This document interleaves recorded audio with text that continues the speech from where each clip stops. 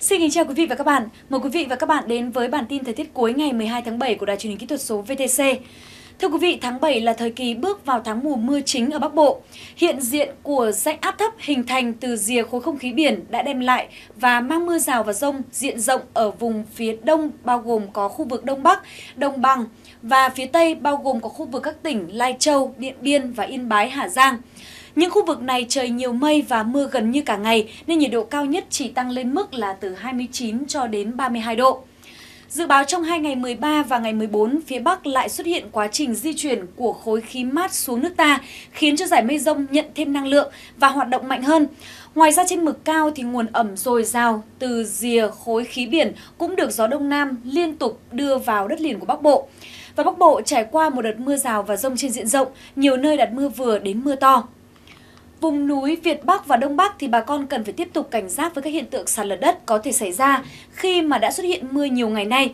Đồng thời với những người dân sống quanh vùng sông suối thì cần phải chủ động có các biện pháp tránh ảnh hưởng của lũ ống, lũ quét cũng sẽ có thể xảy ra.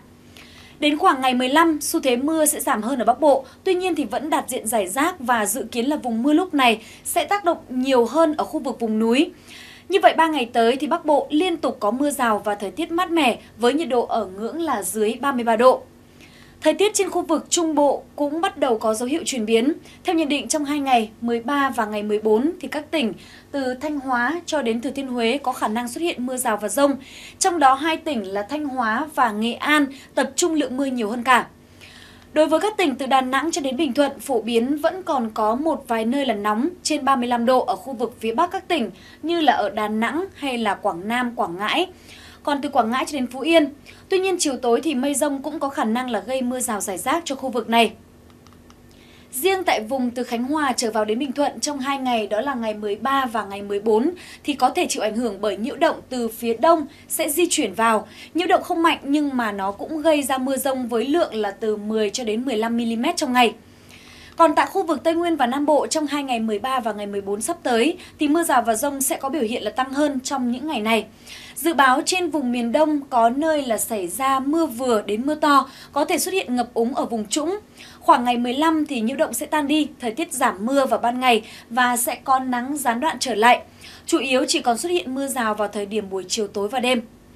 Vì có mưa và nhiều mây nên là nhiệt tại Tây Nguyên và miền Tây vẫn duy trì xung quanh ngưỡng là 28 cho đến mức là 31 độ. Còn riêng tại miền Đông, mức nhiệt cao hơn khoảng 1 độ và phổ biến là từ 29 cho đến 32 độ. Chuyển sang những thông tin thời tiết trên biển. Thưa quý vị, vùng Bắc Biển Đông và quần đảo Hoàng Sa trong 3 ngày tới thịnh hành gió đông đến đông nam ở mức là cấp 4, cấp 5, mưa rào và rông xảy ra ở diện vài nơi.